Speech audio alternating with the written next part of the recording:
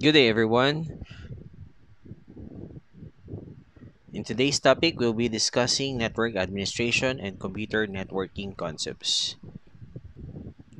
Introduction Computer network is a telecommunication network that connects a collection of computers to allow communication and data exchange between systems, software application, and users. Network administration involves a wide array of operational tasks that help a network to run smoothly and efficiently. Without a network administration, it would be difficult for all but the smallest networks to maintain network operations. One of the most important people in network administration is the network administrator. A network administrator is an individual who is responsible for configuring, commissioning, and maintenance of network infrastructure and services. In an organization, network administrator generally don't typically get involved directly with users, instead focus upon configuring, monitoring, and maintenance of network components within organizations LAN or local area network and WAN or the wide area network infrastructure. A network administrator has different roles and responsibilities. They are even sometimes called as jack of all trades. So here are the different roles and responsibilities of a network administrator. First, ensure data network connectivity. Second, network monitoring and management. Third, testing the network for breaches, if any. Fourth, keeping an eye out for needed updates. Fifth, update access control list or ACLs time to time to regulate network traffic. Now, an access control list is a table that tells a computer operating system which access rights each user has to a particular system object, such as a file directory or an individual file. Next, we have security control enforcement. There are uh, three uh, security controls. It can be physical, technical, or administrative. Now, security controls describes anything tangible that's used or that is used to prevent or detect unauthorized access to physical areas, systems, or assets. This includes things like uh, fences, gates, guards, security badges, uh, badges, and uh, access co- uh, uh, access cards, biometric access controls, uh, security lighting, CCTVs, even surveillance cameras, mo- uh, motion sensors, fire suppressions, as well as environmental controls like HVAC and humidity controls. And lastly, preparing and implementing of security policies and standards. So those are the different roles and responsibilities of a network administrator. We now go to our next topic, which is the computer networking concepts. So, what is computer networking? Before we go into details of computer networking, let us first discuss the different terms that we will be using so that you can understand better what is being discussed. First term is network. So, network consists of multiple devices to communicate with one another. Okay, so that is a network. Next is computer network. Okay, so is a set of computers that are connected together so that they can share information. So we are talking about multiple computers, two or more, okay, that is connected to each other okay, in order to share different information like files, okay, different files, maybe it can be a photo, a document, and many more. Next term is protocol. Now, a protocol is a standard set of rules that allow electronic devices to communicate with each other. Now, these rules include what type of data may be transmitted, what commands are used to send and receive data, and how data transfers are confirmed. So, there are different or multiple protocols like file transfer protocol, internet protocol, and many more. Okay, so there are multiple protocols used. Okay, uh, in order to uh, uh, uh, uh, what do you call this? Uh, in order for computers to communicate with each other. Now, protocols are very important. Okay, uh, without these protocols, um, there will be no governing rules in terms of computer communication. Next is bandwidth. A bandwidth describes the maximum data transfer rate of a network or internet connection. It measures how much data can be sent over a specific connection in a given amount of time. Like for example, uh, 100 uh, megabits per second okay? Just like what you can see in or when you try to uh, what do you call this? Uh, run an application like for example a speed test.net uh, when you check your the speed of your internet okay sometimes it is or it can also show you the bandwidth of your network next we have the fiber optic or fiber optic cables. Now, fiber optic cables is a high-speed data transmission medium. It contains tiny glass or plastic uh, filaments that carry light beam. So that is how data is transferred uh, using fiber optics. So there are different other options but as of today, the fastest technology in terms of uh, use to transfer data faster is the fiber optics. Okay, you can also use the uh, Ethernet table, uh, cable, okay, which uses the RJ45 uh, and the UTP cable. Okay, so it will be discussed to you uh, on the next uh, topics lessons. Okay, next we have the Internet Protocol or the IP. Now, IP provides a standard set of rules for sending and receiving data over the internet. This is one of the examples that I gave you for the protocols. Okay, it allows devices running on different platforms to communicate with each other as long as they are connected in the internet. Okay, so another example is the FTP, as I have uh, mentioned earlier. Now, the file transfer protocol or FTP is used okay, to transmit uh, data or sorry documents over the network. Okay, so when you're transferring, let's say for example, you're sending an email and attaching a file over a network, a document file over a network, it uses a file transfer protocol. Now, lastly, the last term is the node. Okay, a node is any system or device connected to a network. Okay, so that is a node.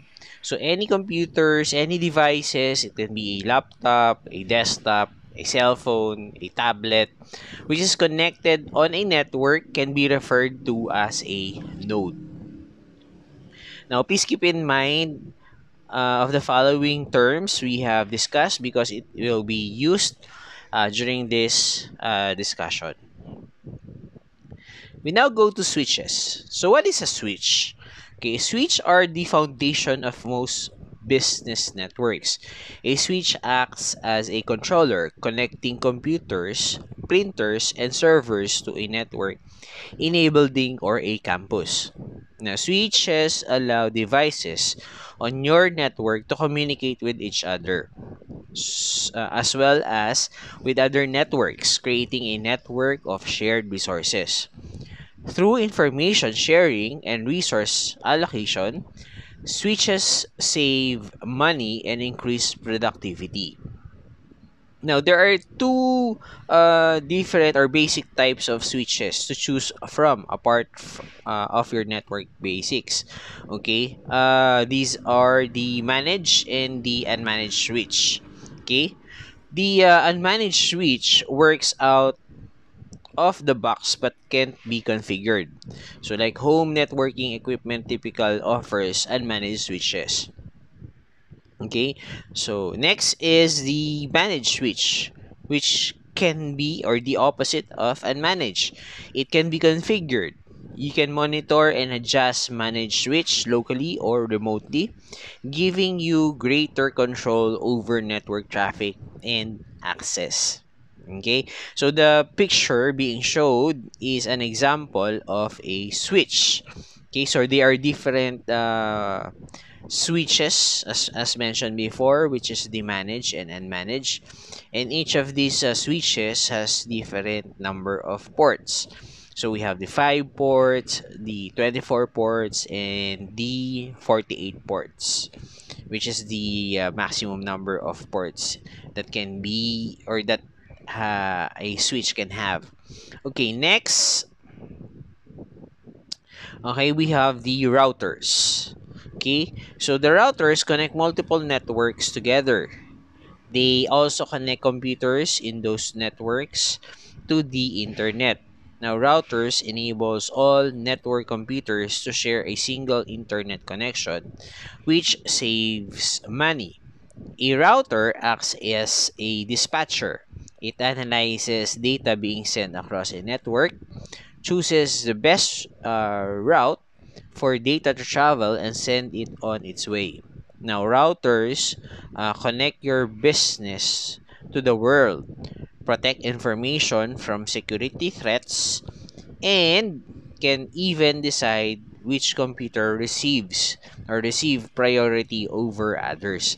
So uh, that is these two uh, uh, what do you call this? Uh, devices, okay, are used okay, to create computer networks or used to connect computers. Now, I know some of you already know or have seen a router. This is very common in in uh, in in houses okay so because uh, it uh, saves us from buying computer uh, cables in order to connect computers. This is the easiest way to connect to the internet because uh, it uses a wireless connection. All you need to have is a uh, a wi-fi uh, uh, what do you call this? Device okay? In order for you to connect over the uh, router all you need to have is the uh, password okay in order for you to connect to a network. But some public uh, connections like what globe uh, provides is uh, uh, free connection for the uh, for for a wi-fi connection okay? But your connection your internet connection is only limited i think depends. Um, maybe uh, some of it is one hour some of the uh, free wi-fi connections are 45 minutes can, can you can connect for 45 minutes. Anyway it depends okay? Next we have the access points okay? Now the access points allows devices to connect to the wireless network without cables. A wireless network makes it easier to bring new devices online and provide flexible support to mobile workers. An access point acts like an amplifier for your network, while a router provides uh, the bandwidth. An access point extends the bandwidth so that the network can support many devices and those devices can access the network from far away. But an access point, remember this, but an access point does more than simply extend Wi-Fi. It can also give useful data about the device on the network, provides proactive security, and serve many other practical purposes. Okay, so some of the uh, as as mentioned, uh, uh, it can give a, a, an access point can give useful data about devices on the network. Like for example if you are connected over an access point okay uh, the uh, system administrator can access your MAC address. Okay, so that is one information that can be used, okay, to track the activities uh, who is accessing the network. Now, uh, here is an illustration of an access point. Okay, the first one is the access point creating a pure wireless network. So it can be it uh, uh, in this example, it is using a uh, router. Okay, as you can see, a laptop, a PC, or a desktop, and a smartphone uh, is used to connect to an uh, an ether uh, an Ethernet. Okay, or a router. Sorry, a router okay which is the the router here is the access point. Okay the next example or the next uh, illustration okay is an access point extending a wired network to a wireless device. So there are two access point here which is the switch okay and a router okay so access point PTAP0 is the uh, wireless, okay, while the switch is the uh, wired connection. So it uses, as you can see in the illustration, it is connecting a computer, a two desktop, and a server, which uses a wired connection to access the internet and aside from the internet also the uh, the network to be connected into a network while the three sorry the two uh, desktop computers in this illustration on the left okay a laptop and a smartphone is connected over the network using wireless connection using the router as the access point. Okay we now go to our last topic Okay, you already know the components, some of the components needed for computer networking.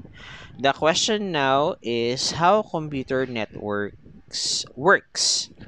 Okay, computer networks connect nodes like computers, routers, and switches using cables, fiber optics, uh, or wireless signals. Okay, now these connections allow devices in a network to communicate and share information and resources. Now, networks follow protocols, as we have defined earlier, which define how communication are sent and received. Now, each device on a network uses an internet protocol or an IP address. Okay, now router are, vis- are virtual or physical devices that facilitate communications between different networks. Routers analyze information to determine the best way for data to reach each uh, reach its ultimate destination. Now, switches connect devices and manage nodes to node uh, communication inside a network, ensuring that bundles of information traveling across the network reach their ultimate destination.